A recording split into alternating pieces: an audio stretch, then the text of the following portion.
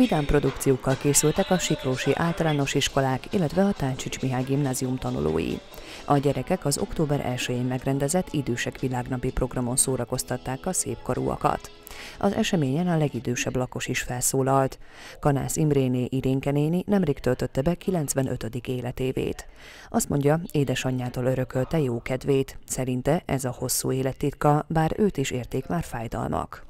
De viszont, ha én ezt mindig ezt mutatom, akkor nem lehetek sehol, hát nem. Ki szeret velem beszélni? Most én mindig a társaságot keresem, hogy egy kicsit elbeszélgessünk, akkor valahogy úgy elmúlik ez a, ez a bánatom, és én szeretek ilyen vidám, vicces lenni. Az ENSZ 30 éve nyilvánította október 1-ét az idősek világnapjává.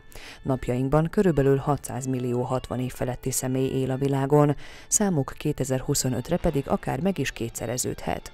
Az egész életen át tartó munkájukat köszönték meg Siklóson ezzel a programmal. Egy kis zenével és tánccal is készültünk, tehát természetesen ezzel fogjuk zárni az estét.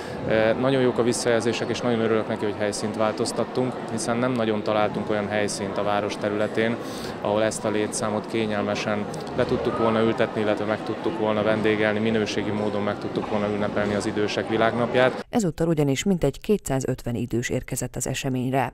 A tervek szerint a jövőben is a Táncsics Mihály gimnázium sportcsarnokában rendezik meg az ünnepséget, ahol minőségi programok, zene és tánc is várja a szépkorúakat. Akkor